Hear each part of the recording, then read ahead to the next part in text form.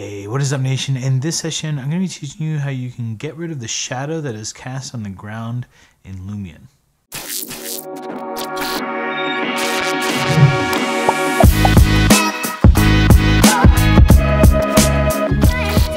Okay, so I have this little scene set up and you can see here that the uh, shadow is being cast on the ground and I don't really want that in my scene. I just want the shadow on this little diorama. So in order to do that, what I'm going to do is render this. So render photos. Uh, make sure that I'm doing you're doing a large uh, version of this, and all I actually need here is the material map ID selected. So you want to have that selected, and then choose uh, either print or poster. A poster will obviously take a lot longer. And then just put in your uh, title here. So I'm going to call this diorama. I don't think that's how you spell it. uh, and then it'll render. So both of these is finished, uh, and when they're finished, you can just click Open Folder, and that will bring up uh, your items. Now I'm going to be using Photoshop for this, but you can use any photo editing software. So what I'm going to do is just off screen, I have the uh, folder, so I'm just going to drag this guy.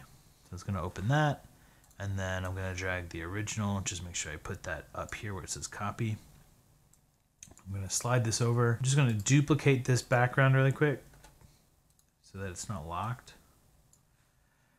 And then take this guy, do Control A to select all, Control C to copy. I'm to make a new layer, paste it with Control V. Now what I'm going to do is uh, use the magic wand. I set this the tolerance here to 15. Now this is where the, um, the render quality really makes a difference. So I'm just going to select this, hit copy. And then on this background image, what I'm going to do is come down here to where it says mask, this little add layer mask. I'm going to click that and it makes this little window here. Now with this guy selected, I'm going to hit W for the wand tool. And then with tolerance, it says 15%. I'm just going to select this orange area. Now, because of the way that the angle is, it sees the ground plane as a different material. And that's what's allowing me to use that layer ID mask to do this. So just a little explanation of that.